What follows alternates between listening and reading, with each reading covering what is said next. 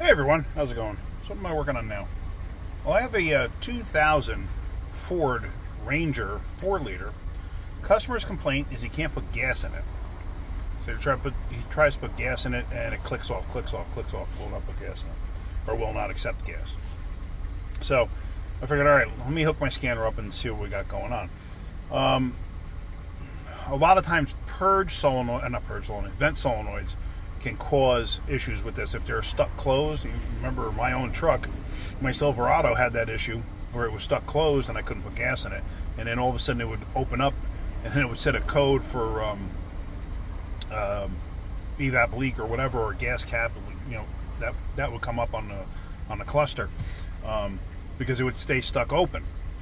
When it stayed stuck open, I could put gas in it. Um, but anyway, so on this, I figured let me hook the scanner up and see what I got going on. So I hooked the scanner up, and two things show up. P1000, which is a Ford specific code, and that's onboard diagnostic system readiness, readiness test incomplete. That tells me somebody has cleared codes out of this thing recently. The other one is fuel pump secondary circuit high. Mm. And it's memory.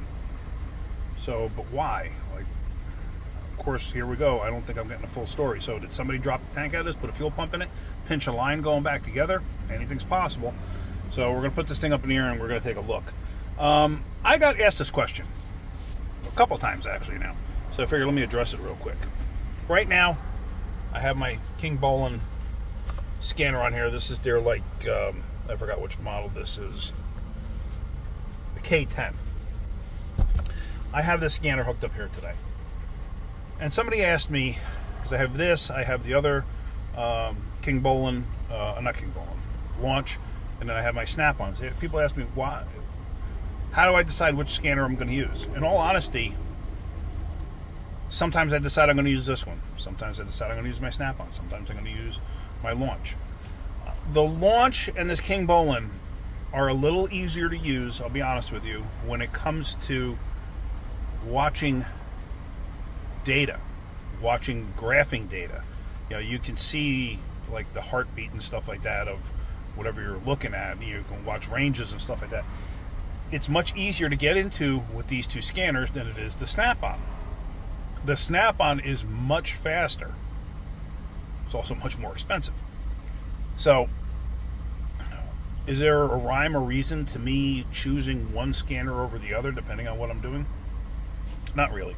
It's you know, if it's something where I think I'm going to want to look at data, I will probably choose this scanner. Now, one thing I just noticed with this scanner, the 2000 model year on this, you can't do an automatic ID. I believe I can't do it with my Snap-on scanner either. Um, it's a, it's not in the programming of the vehicle to allow that. However, with this scanner, I noticed it doesn't go earlier than 2003 for this model. Why? I don't know. So I entered as a 2003. So that's because I'm out in the parking lot. The shop is very noisy today, so I'm, I'm sorry if there's, when I'm in the shop, if you hear a lot of noise, nothing I can do about it. Uh, we have the parts washer going, we have air tools going. It's just, it's a busy day today, so there's a lot of noise in there. What I'm going to do is when I get in the shop, I'm going to hook my snap-on up and I'm going to see what it shows because just in case it shows something different. I, like I said, I was out in the parking lot. I figured, all right, let me just enter it this way and see what happens. Usually the information is all the same or it'll tell you it can't connect. Um, I could try going in just straight OBD. I don't like doing that. Uh, OBD is just like the generic version of, hey, here's what's going on. And I usually don't like doing that if I can at all avoid it. So let's pull this thing in the shop. Let me hook the other scanner up to it and let's see what that shows us. All right, so back in the shop with the Snap-on scanner. Just so you know, this thing only has 68,000 miles on it, according to the odometer. It is a pretty clean truck, I will give it that. Uh, 4x4 Ford Ranger. It's actually a nice truck.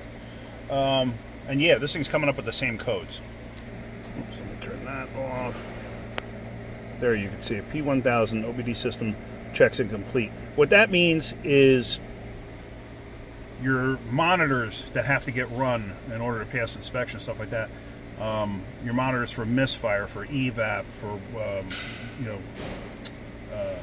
misfire, evap, catalyst, catalytic converter, uh, O2 sensors, EGR if you had it, stuff like that. all of those monitors, it means they are not completed. They're not run because somebody cleared the codes out of this thing. The other one, uh, fuel pump secondary circuit high, it's a stored code, so I'm not overly worried about it, and it doesn't have a check engine light. Um, let me just see see pending codes, see if there's anything there. Let's back out of this, go to pending codes, and no codes. Okay. So I'm not overly concerned.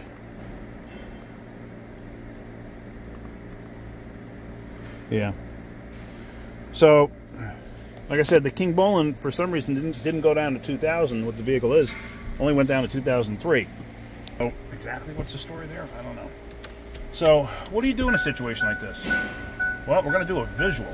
So, let me get this thing set up and up in the air, and we're going to do a visual of the fuel neck and everything else. All right. So I hate going in behind somebody else, and like I thought, somebody just had this gas tank out. So who knows what was done? Um, but I can see some stuff, and let me show you. I mean, not a big deal, but somebody just changed the fuel filter. They did this with the lines. This is not safe at all um, because there's nothing really preventing the line from blowing off. They should have gone to there where the plastic meets the metal line, but they didn't. They went there. That's number one. Another thing, if you look up here, okay, if you look close, you can see here. See the razor slice? I smell fuel under here like there's no tomorrow. So this hose is actually cut open all the way back to the to the neuro, uh, the bulge part that stops the hose from coming off.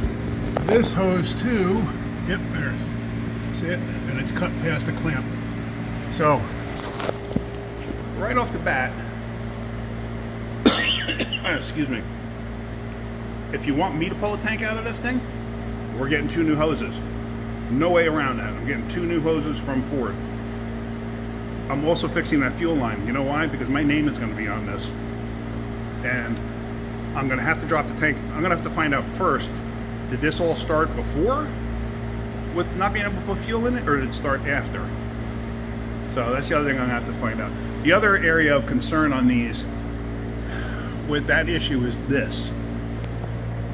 That tank back here, because that's where the vent solenoid is. You can see it on top there. And that a lot of times will create a problem with fueling. That line gets kinked.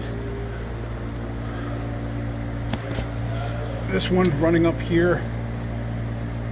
So who knows what's been done with what here. So, but I looked with the mirror on the top of the tank and I didn't really see anything. I didn't notice anything, let's put it that way. But I'm gonna have to find out. Did the problem start before or after this work was done?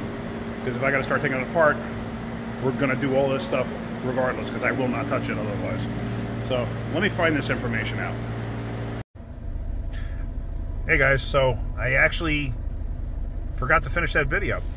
Um, just driving home, or getting ready to drive home, and um, the customer never got back to us about that truck. So, don't know what's going to go on with it. It'll be Monday before I get back to it.